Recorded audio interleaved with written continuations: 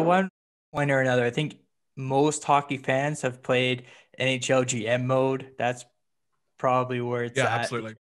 Trying to now, it's not like real life. Don't get me wrong, but having maybe a little bit of experience managing um, a team or a franchise or whatnot. Yeah, absolutely. Um, one of the things I did literally just uh, last week or just this weekend, I did a live stream in NHL 21 and I was trying to make the Buffalo Sabres be a competent team, which was a lot more difficult than I thought it was um, because like you got Jack Eichel there. I found out that like uh, I I didn't want to change the roster too much from the first year, and I thought, okay, I'll do two years. First year, I'll keep the roster pretty much intact. And second year, I'm going to blow the whole thing up just to see if I can do better than the year before. The first year, Jack Eichel somehow wins the Rocket Richard with 50 goals. I'm like, okay, I'll take it. But the rest of the roster sucked. So I was like, okay, great. That kind of sounds like the Buffalo Sabres I know. Um, and then the second year, I like managed to trade away Jeff Skinner's contract, trade away Kyle Okposo's contract. I had to like heavily give up like draft picks in return, but I managed to get it done. I was thought, okay, we're onto something here. I've got like $30 million of cap space here. I could make something work here, like just sign all the free agents. Buffalo's done it so many years before, and it's always worked out well for them, hasn't it? So then I, I you know, I just like I I, I uh, signed all these guys. I got Binnington in there. I signed Dougie Hamilton for the back end. I'd, for some reason, Montreal had offered me Alexander Romanov in a deal. I can't remember who for. I think it's one of my players wanted to trade, and then I managed to get Romanov and a second round pick for it. So I was like, right, I'll take that. Taking that absolutely. Uh, Dylan Cozens was an absolute stud for me, and then um, I had this great team lined up, and then they like the injury bug hit, and I was like, okay, so if it's not mm. the team's good, it's the fact that they can't stay healthy for more than five games straight. So I, I feel sorry for Buffalo fans, man. Like they have struggled mightily. oh, that's the understatement of the season, I think. Um, yeah. And uh, I just I just want to say, watch out, Kevyn Adams. I think you got a mm. competition for a new GM. Um, um, I mean, I, I mean, I don't know if Kevyn Adams is considered, you know, a temp or if he's uh, if Sabres fans have confidence in him, like uh, when he took over for Jason Botterill. But uh, yeah, um, yeah, Sabres like it's it's strange. Like you think I thought they were going to be a pretty good team this season. I didn't think they would, you know, they, they weren't a contender in, in, my eyes, but I thought they were at least, you know, a playoff uh, contender with uh, the addition of Taylor Hall and Eric Staal. Um, but uh, yeah, no, and the Jeff Skinner fiasco, like that's still, I'm still really scratching my head about that. Like he's been a healthy scratch for the last few games. Like, and he's also been like the bottom six when he has played. So, yeah, um, as you would say, Hayden, make from that what you will, folks. Yeah, quite quite literally. It's it's very much like if we want to talk specifically about Jeff Skinner, for example, it's such a difficult situation for a coach to be put in. Like Ralph Krueger, he's had some interesting uh, backstory, and every single time he's mentioned on a national broadcast, they always uh, discuss his you know interesting backstory in becoming a coach in hockey. Like he was a member of a Premier League team, soccer team here in the UK a couple of years ago. Oh, I, I can't remember which, which, one exactly. I can't okay. remember exactly. Oh, I want to say Crystal Palace, but you'd have to fact check me on that. I'm not 100% wow. sure. Um, but yeah, he, has got like a, he's had, I think he's worked in several different sports before coming to hockey, but his resume and the way that he um, works uh, obviously is quite appealing to the Buffalo Sabres, and that's why they hired him. And obviously, he worked with Team Europe during the World Cup of Hockey and got them to the finals. So the team that wasn't expected to make it that far. So he's he's built himself up a pretty decent pedigree within the sport. But it's such a difficult conundrum uh, when it comes to somebody like Jeff Skinner, who clearly, like, if he wasn't earning $9 million, he would not be on the roster. He would not be talked about as being on the roster because he scored, what, one point this season, two points this season? One point in 15 games, just one exactly. assist. Exactly.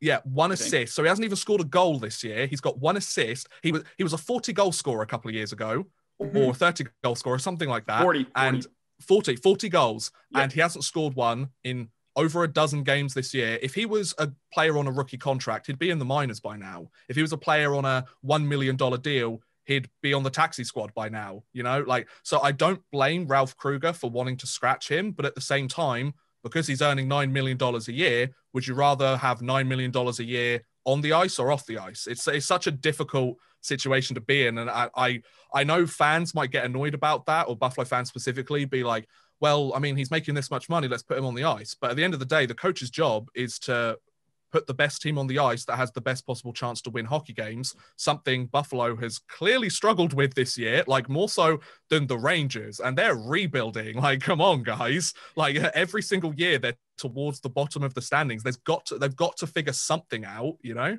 Yeah. Yeah. But, Go ahead, Vince. Yeah. Yeah, just on, on Buffalo.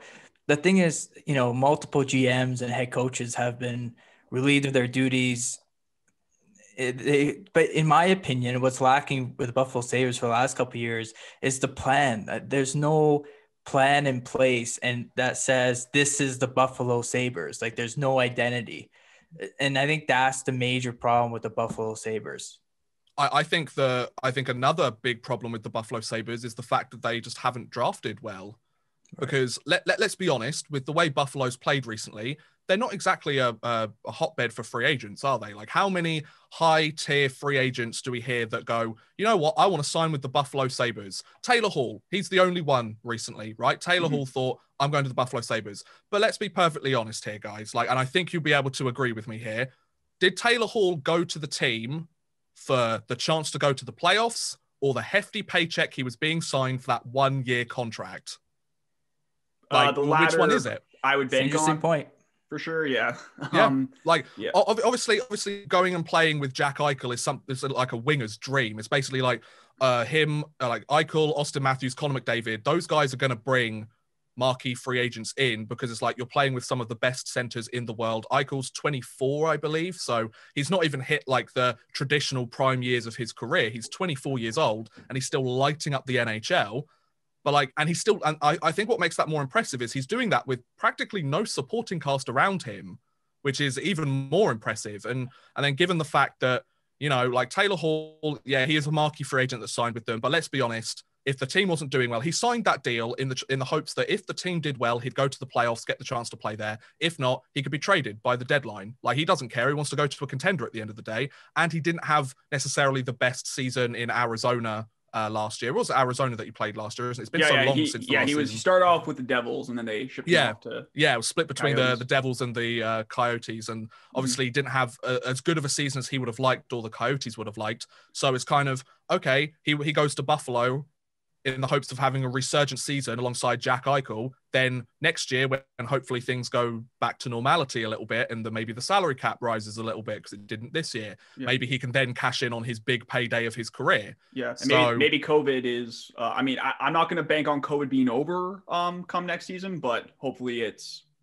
things are easier at least if anything the, the, yeah. the, good thing is arenas are now getting fans in the stands now like uh, uh, pittsburgh just announced 15% capacity uh, the Rangers are running at 10% capacity. Dallas and Florida have had people in there since the beginning. Now, politics aside, that's whether you agree or not with uh, the rules that are put in place by each different state. The one thing that I think we can all agree on is that it's good to have, it's nice to have fans in the, re- the arenas again and actually hear actual chants and actual fans responding to what's happening on the ice as opposed to the pre-recorded stuff that they've been using since the the return to play program.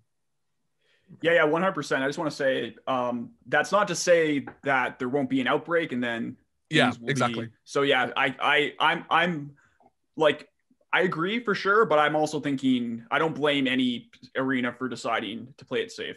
Oh, of course not. Absolutely. Yeah. I mean, it's, it's people's uh, health you've got to put first, right? And obviously, mm-hmm. it, it, sucks that we've been in this situation for the last year or so now. Like, people have been stuck at home, people might have lost their jobs, which is a, a, horrible situation to be in. Like, I'm very fortunate that the work that I do, I've managed to be able to keep doing it with little to no disruption because it's kind of all online anyway. So I'm very fortunate in that position. But I know that there are hundreds of thousands of people who you know they have to go to work every day and that's how they earn their paycheck and that's how they feed their family. So uh, if it's the arenas or whether it be like fans themselves that decide you know what? I want to play this a little bit safe because i need to keep myself healthy because i need to at the end of the day go and earn money for my family like it's important. And i, and I think it's I, I it would be great if we could have a situation where people weren't chastised for the choices they do or don't make in that scenario but we all know what Twitter's like. So.